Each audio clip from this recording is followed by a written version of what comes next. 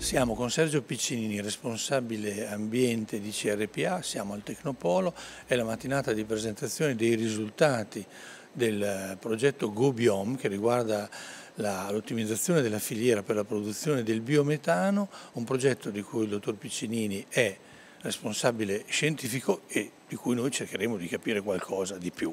Allora, il biometano è una cosa che viene dopo il biogas, che differenza c'è?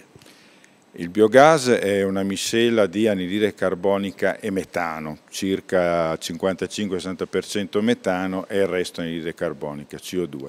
Il biometano è metano al 96-99%, cioè del tutto simile al gas naturale fossile che utilizziamo attualmente in larga misura nel nostro paese.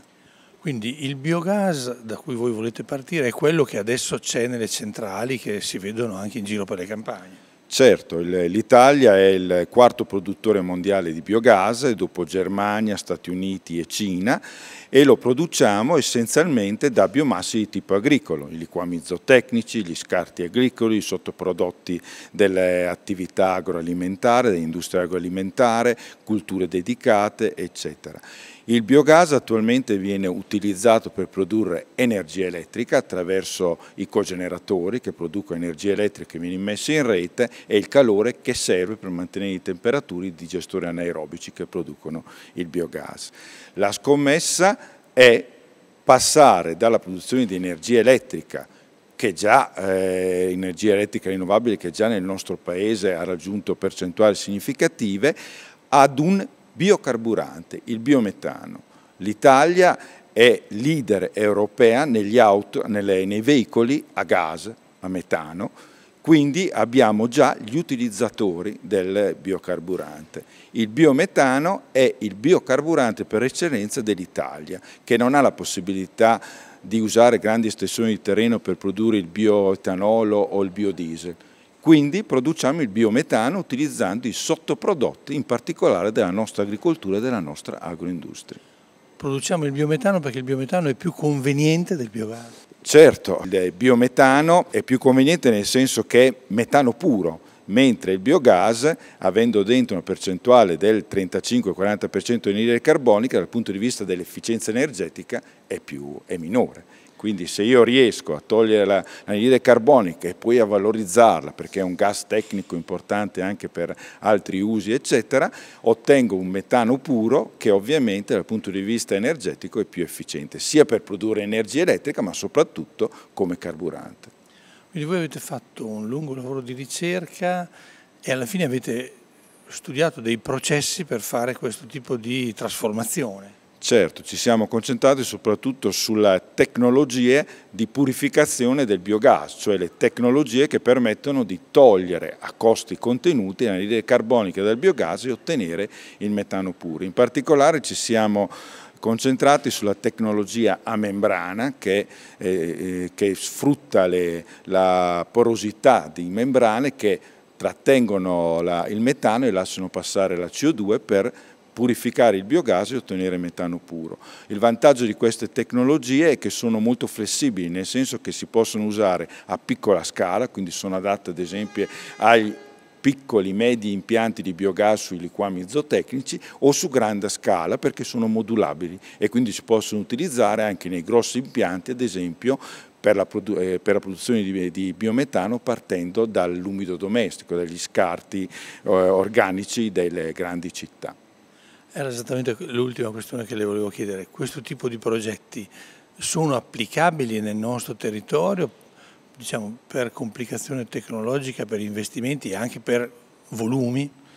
Sono sicuramente applicabili. L'Emilia Romagna è leader nella, tra le regioni italiane proprio nelle tecnologie di compressione del gas, di distribuzione del gas. Le nostre piccole e medie imprese del settore gas esportano per l'80-90% della loro produzione nel mondo. Adesso si stanno specializzando anche nella tecnologia di upgrading, difatti abbiamo lavorato sull'upgrading con quattro imprese del territorio emiliano-romagnolo proprio alla messa a punto di nuove macchine per eh, la produzione di biometano. E in più abbiamo più di 250 impianti già di biogas operativi nella nostra regione, sia su matrici agricole e zootecniche, sia su matrici rifiuti, rifiuti organici, fanghi, depurazioni, eccetera, discariche e quindi siamo in grado, eh, stimiamo il potenziale è circa 700 milioni di metri cubi di biometano all'anno che siamo in grado di produrre solo con questi scarti potenziale teorico, diciamo che realisticamente tra i 200 e i 300 milioni di metri cubi di biometano li possiamo già produrre da domani. Ma è vero che in Germania ci sono già persone che vanno a fare il rifornimento dell'auto metano dai contadini?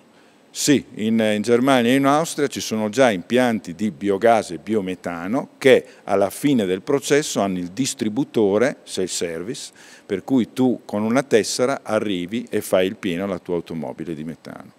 Siamo con Silvano Bertini che è dirigente dell'assessorato regionale alle attività produttive al Tecnopolo di Reggio Emilia per la presentazione dei risultati del progetto Biogom che la Regione ha finanziato.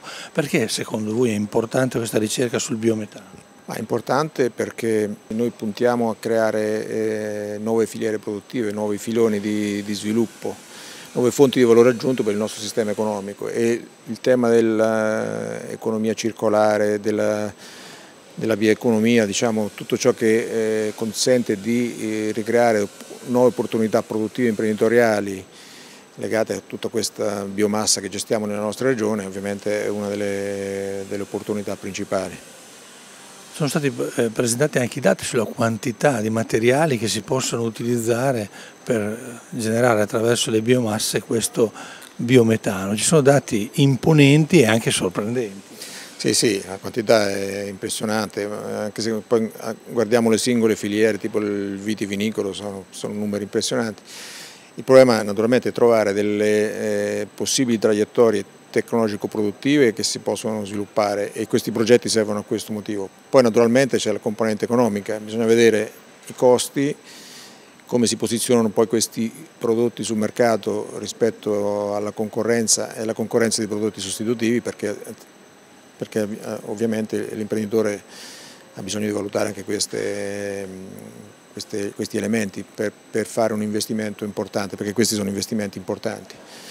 Quindi noi studiamo, diciamo, noi, noi studiamo, eh, sosteniamo l'attività di ricerca che viene svolta da laboratori in collaborazione con le imprese per eh, mettere a punto diciamo, i processi dal punto di vista tecnologico le soluzioni produttive dal punto di vista tecnologico, però naturalmente l'ultimo stadio è una decisione imprenditoriale.